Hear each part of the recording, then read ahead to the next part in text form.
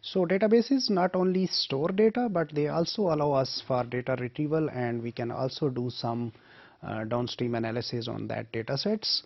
Uh, let's see how we can get the DNA data from NCBI. So here is the web page of NCBI. For example, I want to search for my favorite gene P53. Basically, it's a gene that is tumor suppressor gene. So mostly the people who are studying cancers, uh, they must be aware of it. So I put P53 in the search box, then I click on go button and here we get the results. So we can find many ID entries like over 9000 entries are there. We are just looking into the first page and in this I just picked up the first two. So let's uh, we click at the top top one which is a P53. The ID is 2768677. There is a description that what this gene is. It's actually coming from Drosophila and the location is it's coming from chromosome number 3 and uh, we see some uh, what they call them as uh, aliases. Uh, these are basically some alternative names of this gene. So now then we move on down below in the, click on the first gene and then we, we come up to this page which we have at the top we have uh, actually it was a big page but I chopped off into small sections. So here we see the summary of this gene. So official symbol it's P53 provided by Flybase which is also written in the primary source. So it's coming from the Flybase. So that is a, a database that stores the uh, genome of this fruit fly Drosophila. Uh, then the locus tag and then the gene type it is protein coding.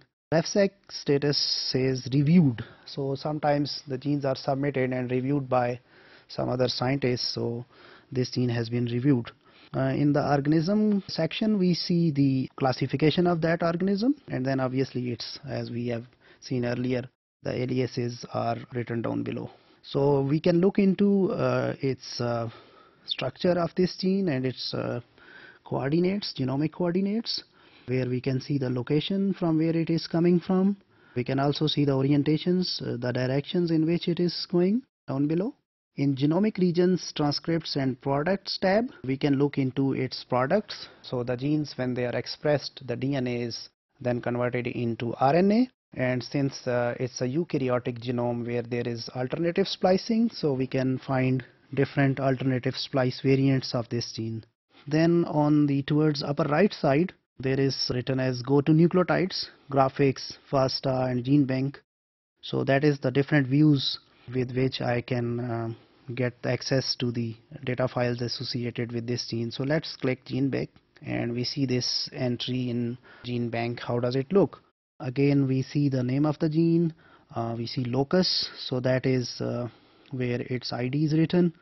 Uh, length of the gene it's 4426 base pairs DNA is a linear type of the DNA then we have the submission date then the definition line that is describing the organism's name and the chromosome from which it's coming. Then we have accession in the, uh, the regions in the genome from which it's coming. Then obviously we have the variant so uh, it says 0 double three triple seven point three. So they should have been 0 0.1 0.2 and since this is the third review so we see that thing over there in this dot 3 with the name. Down below we also see the reference or the authors from which this gene is coming and then their publication. So it was published in science. We scroll down. Here we see the features of this gene. So um, we see the total length of the gene is 4426 down below we see messenger RNA so messenger RNA since it's being a eukaryotic gene it's coming from the exons. So the regions from which it's coming they are uh, shown below with the word join. Then within that messenger RNA we find coding sequences. So coding sequences are the parts of messenger RNA uh, which are translated into the proteins. So they are further subsets within the uh, those messenger RNA regions. And down below we see the translated uh, variant where we can see the word is written as translation where we can see the uh, amino acid sequence coming from this gene. In the end, uh, till we reach the word called as origin, and here we can see the actual nucleotide sequences uh, which are present starting from one up till the last nucleotide.